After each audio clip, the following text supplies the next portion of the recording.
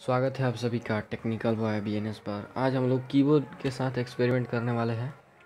ये कीबोर्ड है, इसमें देखते हैं क्या क्या हम कर सकते हैं।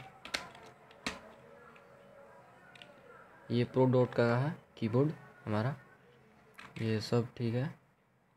इसमें हम खोल के भी देखेंगे इसके अंदर आखिर होता क्या है, इसका मैकेनिज्म कैसा है। इसमें नट दिया है, बाप रे, इसमें इतना नट दिया है ना, करीब पंद्रह बीस नट ही दिया हुआ है इसमें।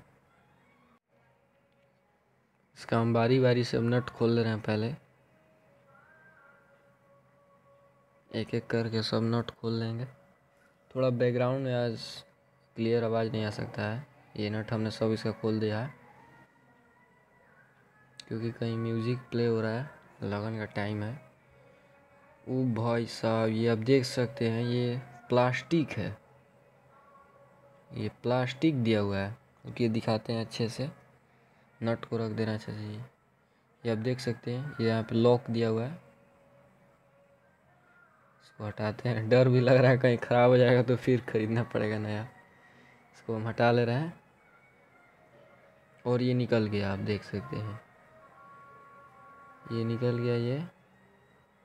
इसमें तीन लेयर दो लेयर दिया है। दो लेयर दिया हुआ। नहीं नहीं, इसमें तीन लेयर दिया हुआ है, आप देख सकते हैं। जैसे इसमें तीन लेयर है, कोई होगा एफ़ तो फिर होगा एक होगा जी फिर एक होगा एच ऐसे काम करता होगा। एक एक वर्ड या दो दो वर्ड का डिस्टेंस होगा। ये तो एक ही में सारा नहीं काम, ये रबड़ है इसका। इसमें का कीबोर्ड में का। इन सबको हम नहीं छुएँगे, नहीं तो फिर बटन निकल जाएगा तो उसको बैठाने में बहुत प्रॉब्लम हो जाएगा। तो आज हमने भी पहली बार फ़र्स्ट टाइम देखा है कीबोर्ड के अंदर। क्या होता है ये देख सकते हैं ये क्या हम कर रहा है।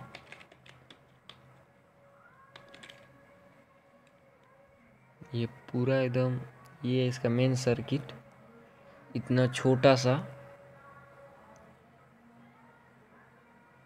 ये से हम निकाल लिए हैं। ये आप देख सकते हैं।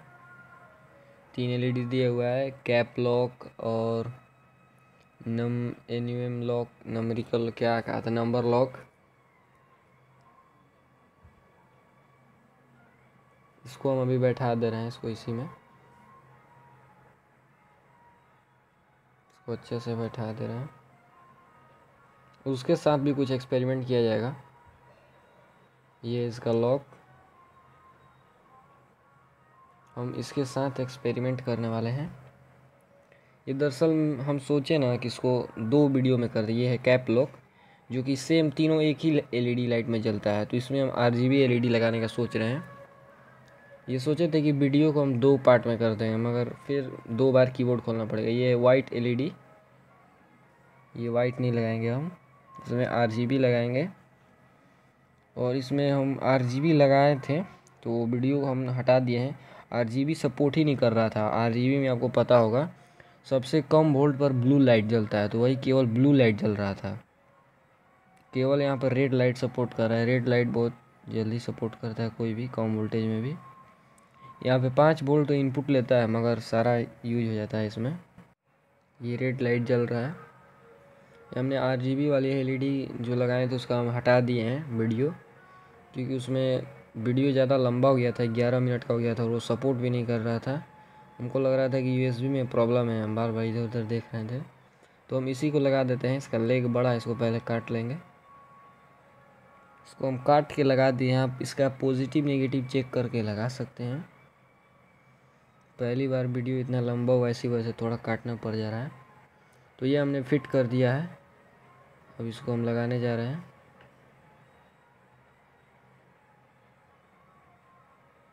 इसको यहाँ पे आराम से लगा दे रहे हैं।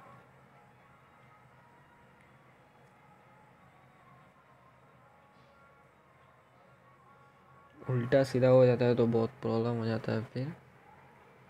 हमें भी अभी पता नहीं है कि क्या होगा, काम करेगा या नहीं करेगा, कोई अभी फाइनल नहीं है। पर चेक करने में क्या जाता है। तो ये है, इसको अच्छे से उठा करके करना है। तो लगा देना है इसको।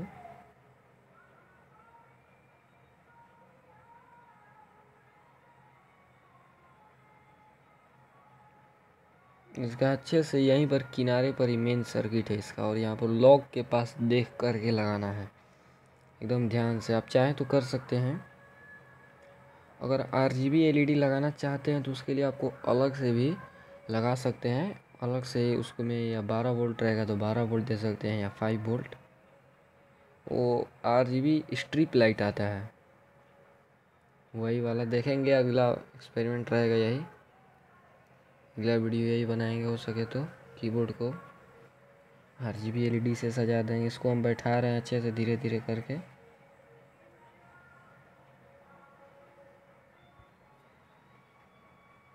यहाँ पर थोड़ा टेबल पर रखने की वजह से ऊपर नीचे बटन हो जाता है। इसी वजह से हाथ में उठा ले रहे हैं। क्योंकि कर के एक बार फिर से हमें खोलना पड़ गया था। इंटर और शिफ्ट का बटन जो था वो अंदर चला गया था। और एक स्केप का बटन चला गया था अंदर। इसी वजह से फिर से हमें करना पड़ रहा है अच्छे से। बटन लटका रहना चाहिए नीचे की ओर। तो अच्छा रहेगा अगर नीचे से प्रेस रहेगा हल्का भी ना तो प्रॉब्लम हो सकता है। नट भी इतना दिया है ना कि क्या बोले हम।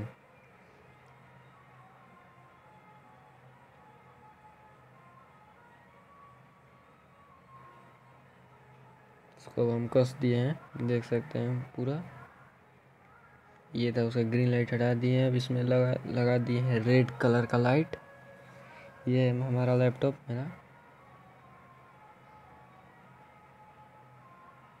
इसमें हम लगा दिए।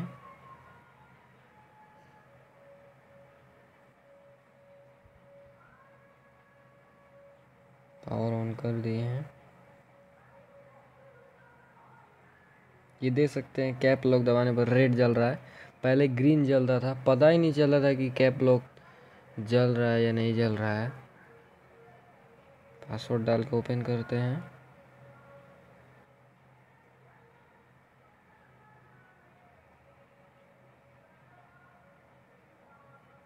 ये देख सकते हैं ग्रीन लाइट है आपको ध्यान नहीं पड़ रहा होगा जल भी रहा है या नहीं जल रहा है, मगर रेड लाइट है, एक अलर्ट कर देगा। Thanks for watching